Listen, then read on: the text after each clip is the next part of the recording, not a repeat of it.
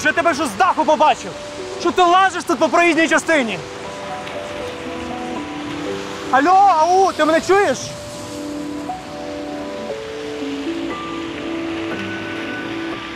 Ти теж Що я теж? теж ненормальний. Ще й спиш на даху.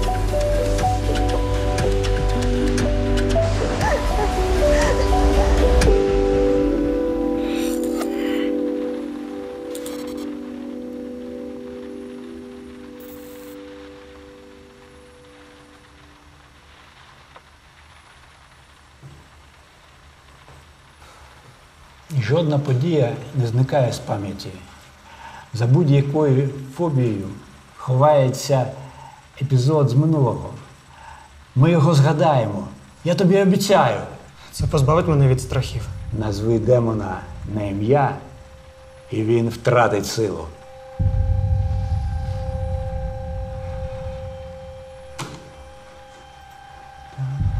Нарешті.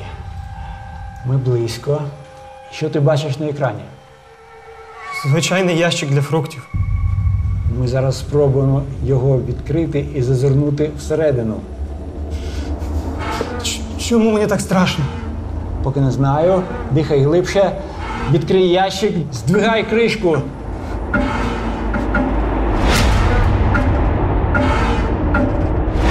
Я, я, я не можу, він забитий цвяхами. В тебе є сокира і лом. Ти можеш відкрити ящик. Ні. Я не можу, я не можу. Твій страх живе всередині цього ящика. Давай, ламай кришку.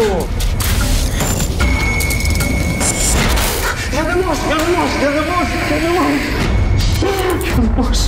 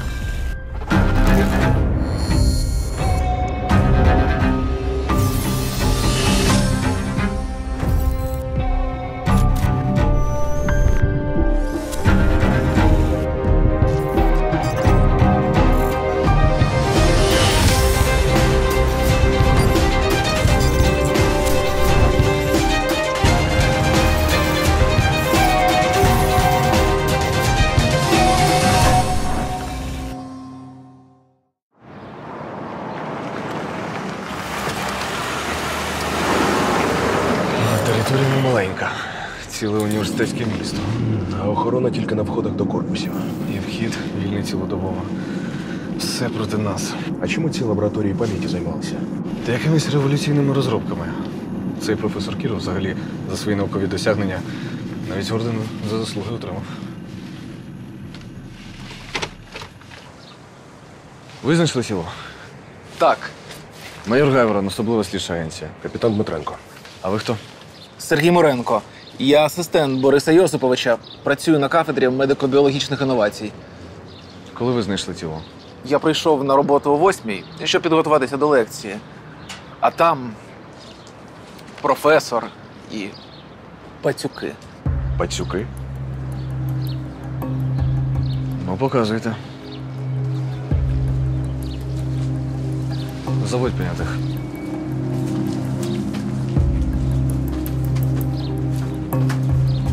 Коли ви в останній раз бачили Кірова живим? Вчора, о шостій вечора, я закінчив писати протокол досліду і пішов додому. Хто з ним залишався в лабораторії? Нікого. Борис Йосипович був один і також збирався додому. Я думаю, йому стало погано. У нього слабке серце. Ніяких ран, крім слідів зубів. Щури погризли ліву руку. Там була фістула. Фістула? Так, зачекайте, будь ласка, в приймалі. Потім договоримо.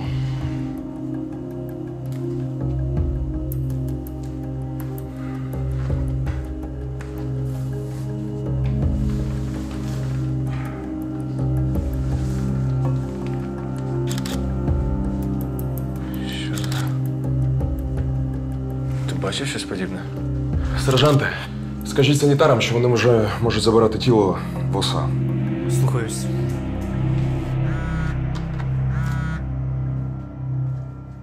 Так, Маш, привіт. Потрібна твоя допомога. Що таке фістула? ну це такий отвір на тілі для проведення процедури гемодіалізу. А щоб було зрозуміло, для того, щоб був постійний судинний доступ на руці. Таким чином створюється штучний артеріальний канал, і лікарі у будь-яку мить мають доступ до кровоносної системи для того, щоб очищувати кров. Загиблий. Кіров Борис Йосипович, завідувач кафедри медико-біологічних інновацій Київського медичного університету. Психолог, керівник лабораторії пам'яті, неодружений, жив роботою. А смерть насильницька? Це ми маємо з'ясувати. У професора були хворі нирки і серце, і, можливо, він просто втратив свідомість, впав, поранився, і на нього напали лабораторні щури. Тільки хто їх випустив?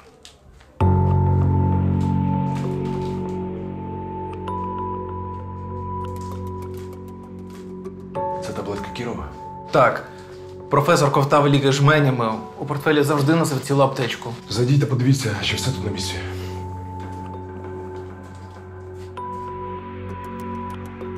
Цієї чашки тут бути не повинно. Чому? Борис Йосипович не пив чай ввечері, лікарі заборонили. Але щоб не бентежити співрозмовника, він завжди ставив другу чашку біля себе, якщо приходили гості. А тут чашка чомусь одна. І коли я вчора йшов, її тут не було. А може він просто пив з неї воду? Для води у нас в прихожій є кулер, і там одноразові стаканчики. І ось е, тарілка з цукерками. Не треба. Я сам. Йому заборонили солодке. Він діставав їх тільки якщо приходили гості.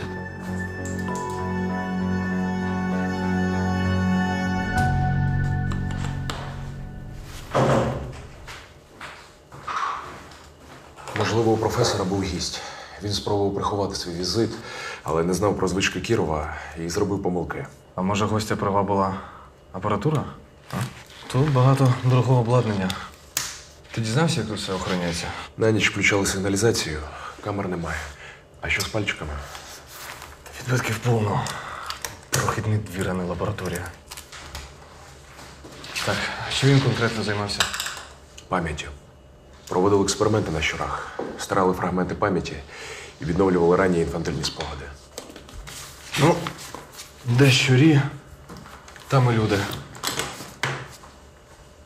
Потрібно дізнатись, чи нема незадоволених або постраждалих. Тут повна шафа особових справ.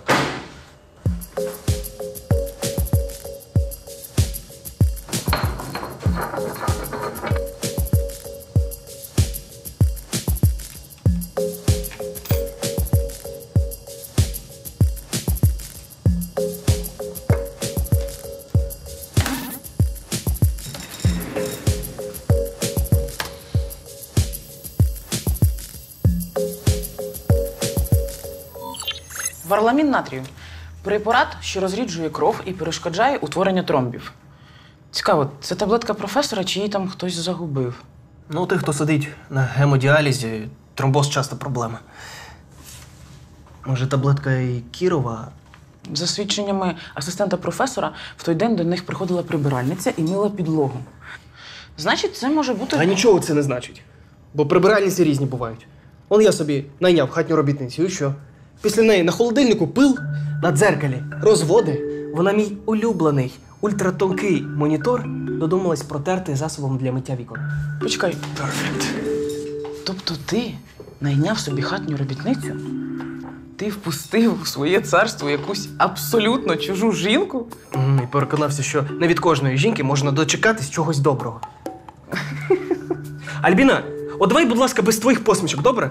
Давай краще йди медичну карту професора почитай. Цим і займусь. Величезно. Стас. Варламін натрію йому не призначали. Йому капали для його тромбозів парнісал. Ну, може, він сам собі призначив. Він же лікар. Але ось його аптечка. Я її всю перевірила. Варламіну натрію чи чогось схожого тут немає. І в крові, до речі, теж цих препаратів немає. Тому моя версія, що таблетку загубив вбивця. І ти думаєш, що у вбивці теж тромбоз? Але я не вірю в такі збіги. Ну, чому не вірю? Наприклад, у асистента професора теж тромбоз, у Сергія Моренка. І, до речі, вроджений тромбоз. І я згадала правило, про яке ти мені сам і говорив. Чекай, чекай. Це яке правило? Той, хто знаходить тіло, автоматично опиняється в першому кулі підозрюваних. От я й пробила цього Сергія Моренка по всіх базах. Дивись. Чому ви не сказали, що, як і професор Кіров, хворієте на тромбоз? Це не стосується справи. Це ми вирішуємо, що стосується справи, а що ні. Де ви були вчора ввечері? Я не можу про це говорити. Це таємниця іншої людини. Дивись, на цій камері добре видно Моренко і ця сама дівчина. Угу. Цілуються і розбігаються. Це було о 20.45. Я ж казав, елементарно. Коханка. І наше коло підозрюваних знов скоротилося до нуля. Ярослава, послухай, це все не те. Вона наразі проходить процедуру розподілу майна і розлучення. Послухай, він був у неї з 7 до 20.45. Отже, копаємо далі.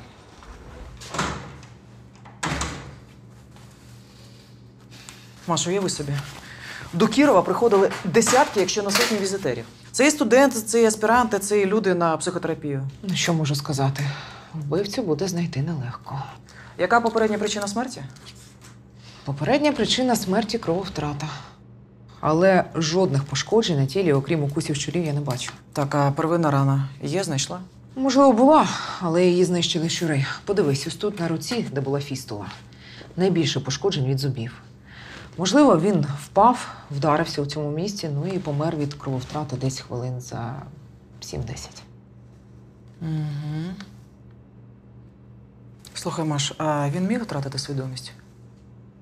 З огляду на віки і стан судин цілком. Слухай, ну все це якось притягнуто за вуха. Ну, яка ймовірність того, що він впав і вдарився саме тут? Я з тобою згодна, але все може бути. А час смерті між 20 та 20.30.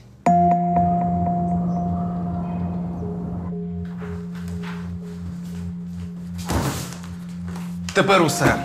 Ось тут і в шафі всі пацієнти Кірова. Він був видатний психотерапевт. Останнім часом він брав тільки виняткові випадки. Виберіть справи тих, хто лікувався у професора останній місяць. І взагалі, як відбувалось це лікування? Ми працювали з мозком. Ми тестували всі методики від класичних технік і до роботи з енцефалографією мозку, і навіть опромінення світлом.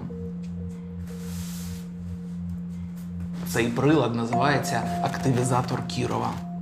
Він запатентований і створений для опромінення мозку. А це небезпечно?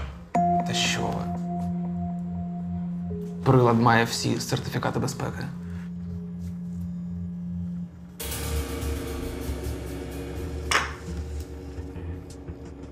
Так, останній дзвінок на мобільний Кірова вчора був о 17.02.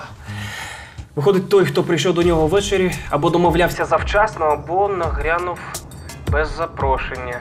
Але якщо Стас. професор. Чекай, якщо професор його впустив, то значить не боявся.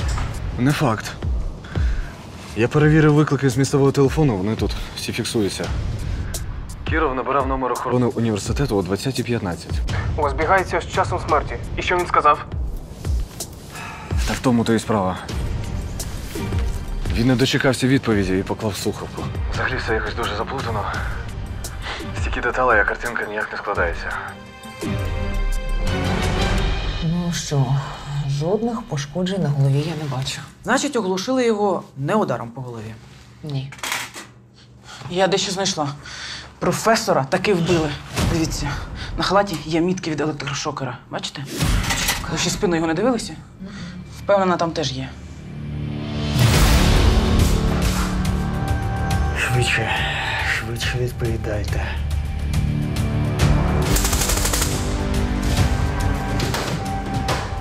Отже, професора оголошили шокером, Потім розрізали фістулу і випустили щирів для того, щоб вони знищили місце порізу. Скажіть, а були у когось конфлікти з професором? Можливо, згадаєте усіх підозрілих відвідувачів? Та ні, конфліктів не було. Але десь тиждень тому був один дивний випадок. Я почув, як по кабінету хтось ходить. Але в цей час професор був на гемодіалізі у лікарні. Він раз на тиждень туди їздив.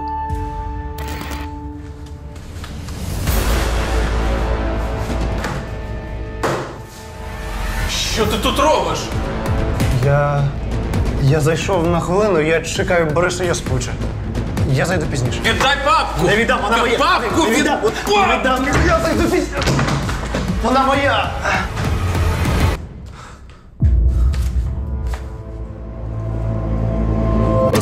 Слідча агенція розслідує загадкові обставини смерті професора-психотерапевта. Він створив лабораторію пам'яті і ставив революційні досліди з пацюками. Незадовго до вбивства на прийом до вченого приходив таємничий гість, який намагався приховати сліди свого перебування у лабораторії. Проте експерти знаходять на халаті професора мітки від електрошокера. Докази вказують на те, що чоловіка вдарили током, а потім непритомному вченому порізали вени і залишили на поталу пацюкам.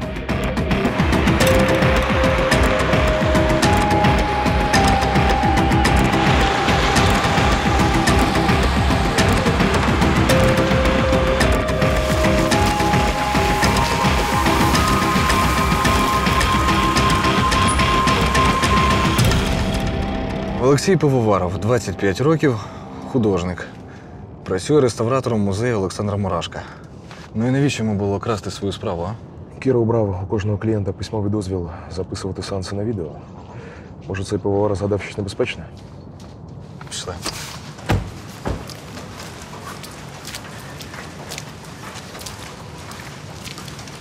Так а з якою проблемою до вас звернувся пивовар? Пивовар дуже замкнутий, боязкий. Самооцінка майже на нулі. Його привела мати. А сам він що, не хотів лікуватись? І так, і ні. Він хотів згадати.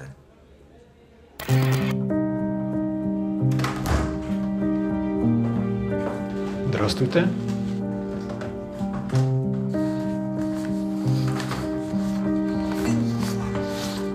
Пивоваров розповів, що рік тому з ним сталося нещастя. Точніше, спочатку доля йому усміхнулася, він сподобався жінці.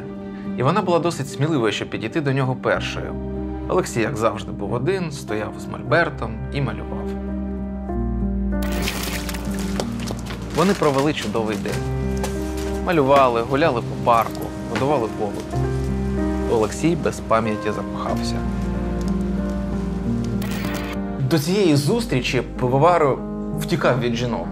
Я не знаю, що саме вразило його в цій незнайомці, але він зміг забути всі свої страхи. А далі що було? Як він казав, біда. Дівчина захотіла морозива. Олексій пішов його купувати. І коли він повернувся, прекрасної незнайомки вже не було. Але до цього вона сказала пивовару свій телефон. Він його добре запам'ятав. Та коли дістав мобільний, щоб їй подзвонити, на нього напав якийсь бомж, вдарив по голові і вкрав телефон. Пивовар прийшов до тями, але номер телефону дівчини вискочив в нього з голови. І як він не намагався його згадати, як не ходив в цей парк, щоб знову з нею зустрітися, все було марно. Він втратив апетит, впав в апатію і занепокоєння. Його мати вже хвилювалася за його здоров'я. Чого ви від мене хочете? Її, її номер!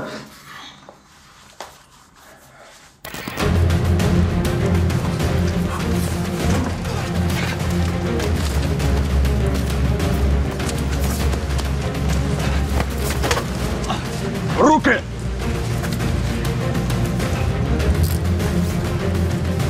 Ну і куди ж ви так поспішали, а? Ми ж тільки почали розмову. Я не крав ту папку. Муренко все вигадав. Ой, Скільки разів ми вже це чули? В машину його.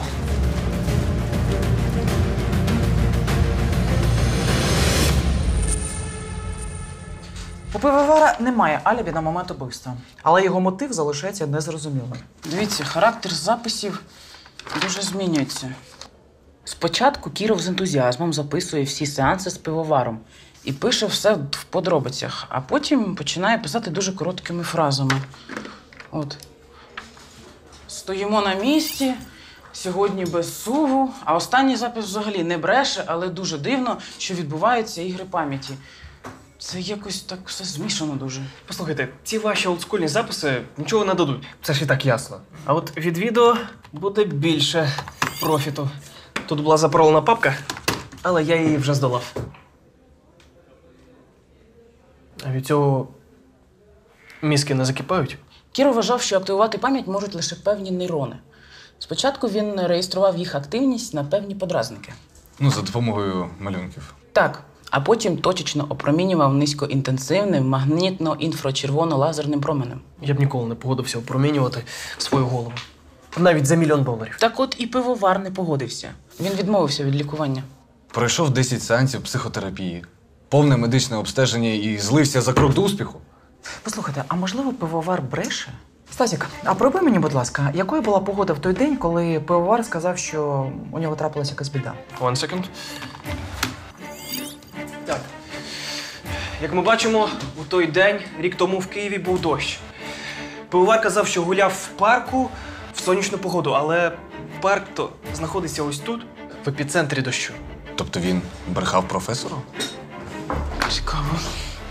Так, Стасік, перевіряй ще. Чи не трапилась якась проблема? Можливо, поступали якісь заяви в найближче відділення поліції, що прибуває поруч з парком. Чекайте, чекайте. Оля Сергіївна, ви просто в точку. У відділення поліції поруч з парком звернулася жінка. Опа. Її намагалися зґвалтувати. Вона вдарила злочинця і втекла. За рік по справі нікого не знайшли. А... Ви хочете побачити фоторобот? Ну хто ж не хоче, давай. Опа. Так. Стасік, роздрукуй мені справу, а я на допит. Ці всі малюнки це плоди ваших фантазій. А реальна історія описана у протоколі постраждалої Алли Гакової. Дівчина гуляла парком і зустріла там молодого чоловіка. Він їй сподобався. Ну а далі все за класичною схемою. Вам захотілося більшого, а дівчина відмовила. Ви розлютилися і спробували її зґвалтувати.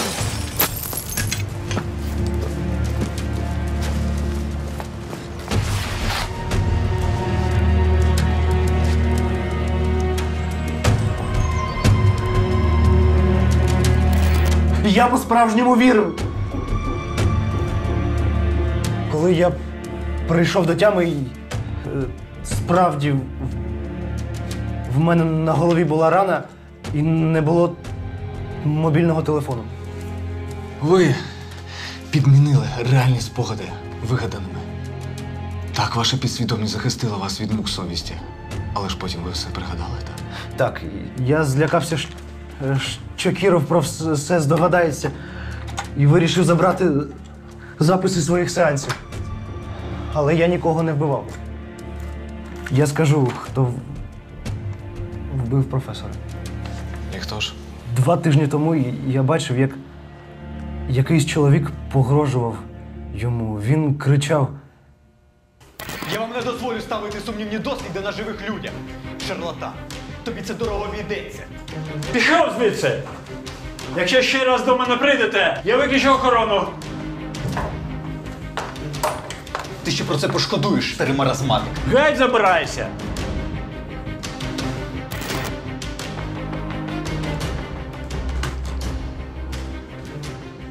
Хто з них? ось він. е, Він погрожував професору.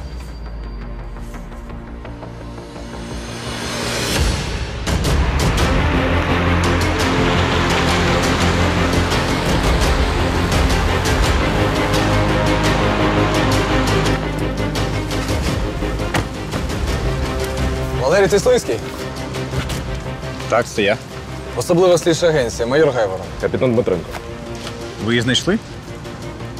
А Ви про кого? Про мою дружину Сніжану. Ви ж з цього приводу?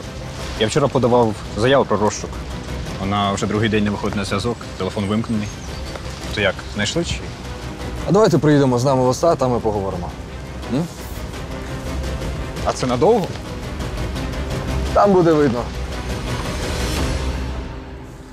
Оля Сергіївна, ось досьє на Тислінських. Вони у шлюбі два роки. Із спільної власності у них е, мережа ательє з пошиву та ремонту одягу. Е, Із е, ще в них є квартира на Липках та два автомобілі.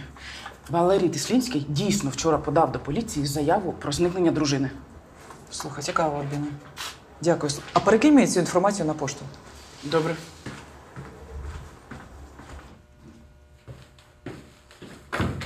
Нарешті. Я можу дізнатися, що власне сталося і за що мене затримали. Ось ця людина. Знайома? Дайте не здогадаюсь. Цей шарлатан написав на мене заяву, що я йому погрожував. Не встиг. Професора Кірова вбили. Ну, не дивно. Догрався. Звичайно, я його не вбивав. Але знаєте, дуже хотів би. Тобто? А я поясню. Моя дружина Сніжана звернулася до нього у важкий момент життя. Вона була у розпачі і погодилася, щоб він старий частину пам'яті. Рік тому її батька збила машина. Після того випадку у Сніжани з'явився страх пішохідних переходів і цифри 4. А цей Кіров так старий пам'ять, що вона забула саму себе. Вона хоч і домашня людина, але останнім часом з квартири навіть не виходила. Не могла самостійно за кермо автівки сісти або елементарно дорогу перейти по зебрі.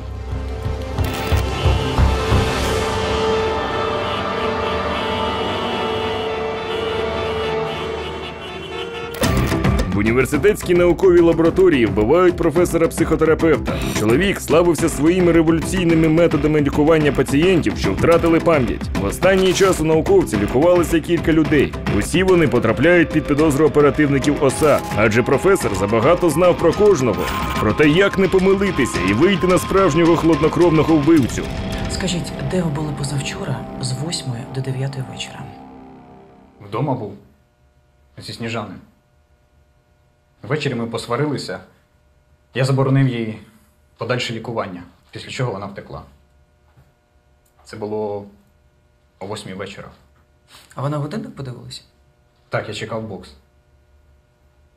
Я вімкнув телевізор, а вона скористалася моментом і втекла, закривши двері і забравши всі ключі з собою.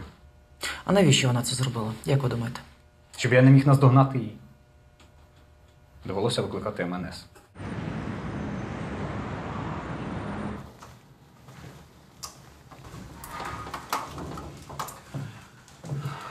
Коля, Коля, зупинись. Перед сусідами соромно. Мам. Ну зрозумій нарешті, що Сніжана не любить цих чисел, а я хочу, щоб вона була зі мною. Двоє божевільних на мою голову. Господи, за що це мені? Мам! Я її люблю. А якщо ти будеш заважати, я буду з нею жити на вулиці, я тобі обіцяю. То ти і так там живеш. Угу. Дякую, до побачення. Співробітники МНС підтвердили, що о 23.45 вони дійсно відкрили квартиру. Слухай, треба знайти цю Сніжану Теслінську. Вона має сама підтвердити слова чоловіка, що він дійсно о 8 вечора був замкнений у квартирі. Так, так, так, зараз. Останній раз телефон Теслінської реєструвався в мережі на вулиці Старопраській. Так, в районі будинку номер 2 Це в день вбивства Кірова. О 22.03. Слухай, якась знайома адреса Старопраська. Що це за? За цією адресою проживає Микола Зінкевич. Він теж був пацієнтом Кірова. А на що ви збираєтеся жити з моїм сином? Ви ж хворі. Він теж нездоровий. Я пенсіонерка. Ні, ну, звичайно, в мене є приробіток. Але цього ледь вистачає. І, здається, у вас же чоловік є. Ми з чоловіком вже давно живемо як сусіди. Сніжаночка. Я така жінка, як і ви, і не треба мені розказувати оці казки. Скажіть краще, що це у вас за страх цифр такий? Не всіх Євдокія Михайлівна, а тільки цифри чотири. Термін придатності закінчується сьогодні. А ви що, не могли купити щось більш свіжого? Чи на етикетки в магазині ви також не можете дивитись? А мого колю в магазин не виженеш. В нього в закритих приміщеннях панічні атаки починаються. Йому потрібна здорова жінка. А що ви взагалі вмієте? Шити. У мене власна мережа ательє. То ви багаті? Не впевнена.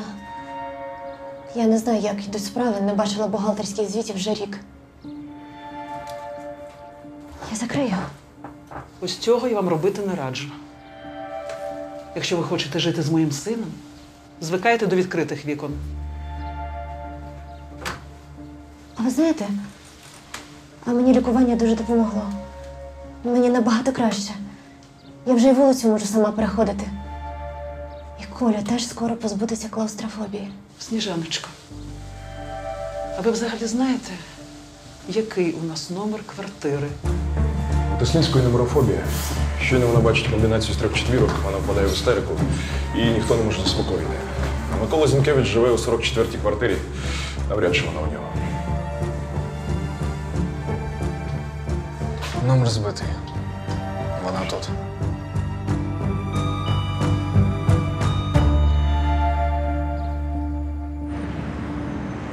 Коли я йшла з дому, Валерій дивився бокс. Я забрала його ключі, щоб він не побіг за мною. Скажіть, а чому ви думаєте, що цифра 4 може вам нашкодити? Щоразу, коли я бачила ці три цифри, траплялося лихо. В перший раз загинув мій батько. Потім загорілась проводка в ательє. А в третій раз, коли я побачила три четвірки в накладній, на мого чоловіка напали і трохи не вбили. От після цього я вже ніколи не читаю документи, в яких є цифри. А ви до поліції зверталися? Звичайно. Вони відкрили справу, але нападника не знайшли. Ну що скажеш? Напад? Бо у мене сумніви. Правильно сумніваюся, бо тут класична картина заподіяння шкоди самому собі. Ось дивись. Бачиш ці множинні порізи? Вони усі майже однакової довжини, поверхневі і паралельні.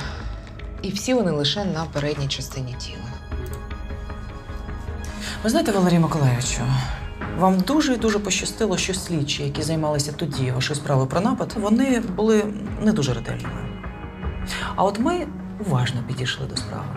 Ви знаєте, ми дещо з'ясували. Ось ці травми ви нанесли собі самі. Ви доклали величезних зусиль, щоб налякати вашу дружину цифрою 4. Навіщо? Не хочете говорити? Ну тоді я вам скажу. Справа в тому, що ваша дружина почала почувати себе краще, і вас це налякало. Вона хотіла повернутися у бізнес, а ви хотіли, щоб вона сиділа вдома і була домогосподаркою. Смерть Кірова вам була вигідна. Він же був простим експедитором на моїй фірмі. Роботягою в брудних черевиках. Це ж я зробила його керівником. Яка підлість. Яка сволота.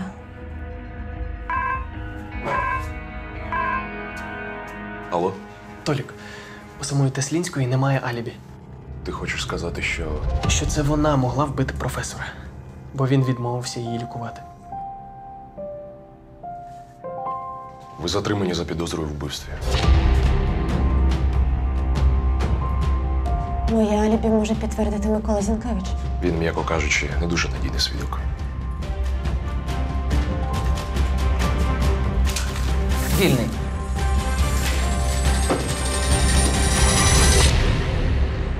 Сніжана Теслінська говорить, що о 20.30 вона була тут. Я не знаю. Я на вулиці була. Киснем дихала перед сном. Ой. Щось важко мені на серці. Сідайте. З того часу, як Коля привів цю жінку, мало того, що старша за нього, ще й психічне відхилення. Яке їхало, таке здибило, як кажуть. Та ви що? Коля дуже розумний хлопчик, обдарований. Просто в нього в університеті велике навантаження. От клаустрофобія загострилася на фоні стресу від сесії. Він навіть академ взяв. Зрозуміло.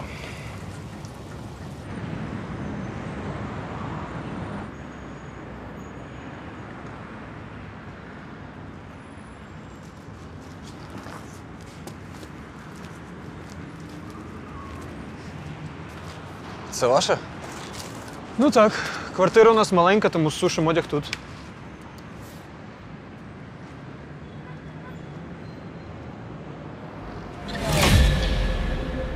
На сорочці замита кров. Чиє це? Сніжани? Чи ваша?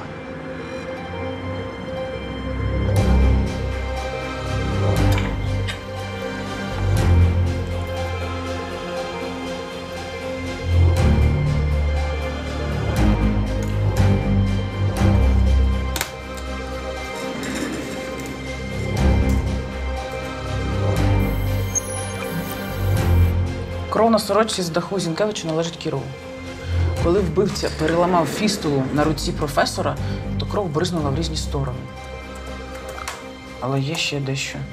Потожирові на сорочці не Сніжани і не Миколи. Дивись, чиї. Цього не може бути. На жаль, може. Це Євдокия Зінкевич була професора. А в мене є ще одна новина. Євдокія не ваша біологічна мати. Як?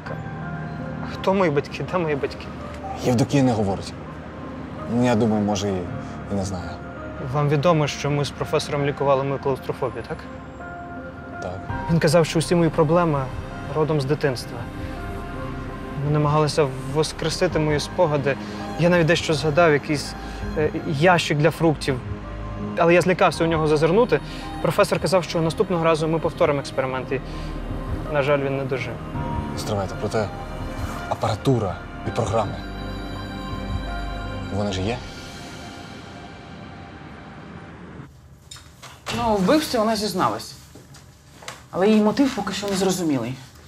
У нас є чим її розговорити? Нічого підозрілого. Євдокія Михайлівна Зінкевич, 63-го року народження. Народилась в СРСР в Мінську, а в 95-му переїхала до України. Документи на сина були? Так, е, на сина Миколи Зінкевича в український паспорт вписали його на підставі свідоцтва про народження, виданого в Мінську в графі батько. Прочерк. А давай відправимо запит до Мінська. Док, ви точно впораєтесь? Я ще ніколи не проводив сеанси сам, зате писав під диктовку професора методичку. Запускаю.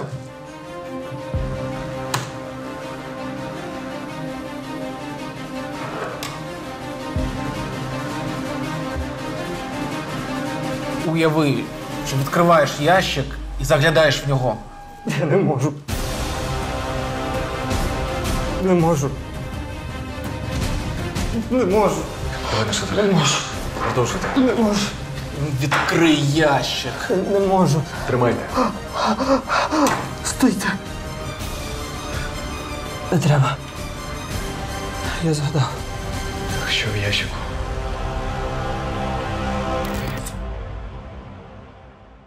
Там я.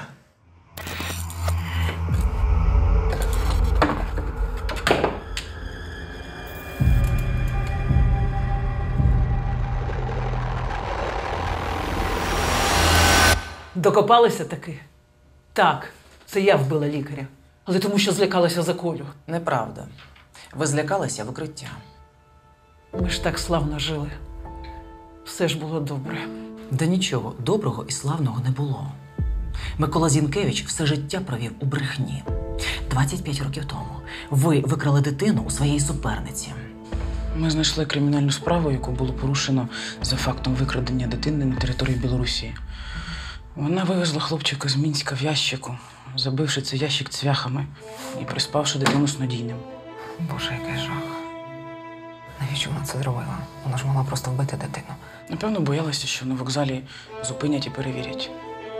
Ви придбали фальшиве свідоцтво про народження, отримали громадянство України і вписали Миколу собі в паспорт.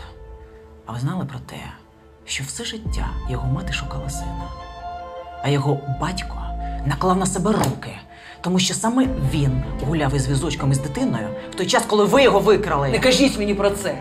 Я нічого не хочу про це знати. Серйозно? Тоді давайте поговоримо про вбивство професора Кірова. Ось це варламін натрію. Ви наполягали, щоб професор перестав лікувати вашого сина, але ви підозрювали, що Кіров відмовиться. І тому взяли з собою варламін.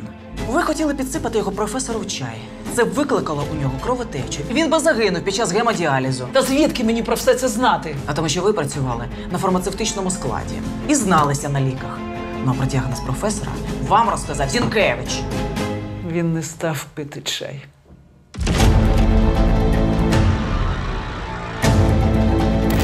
Швидше, швидше відповідайте.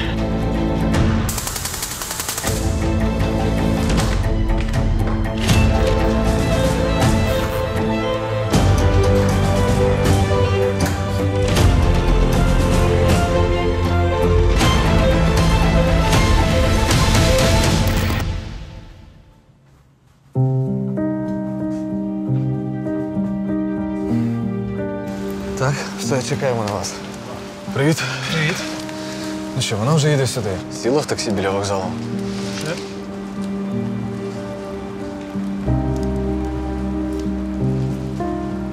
Ну що, як він? Хвилюється. Як у вас справи?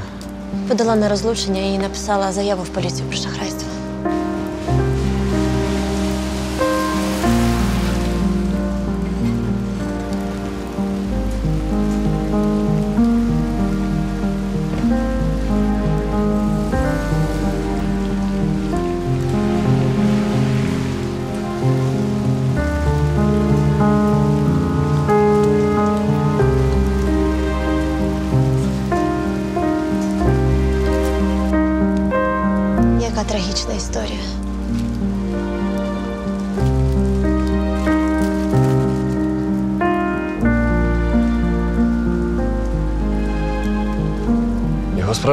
Завжди вірила, що він живий і знайдеться. Кожен його день народження вона заморожувала в холодильнику шматочок торта і зі свічкою.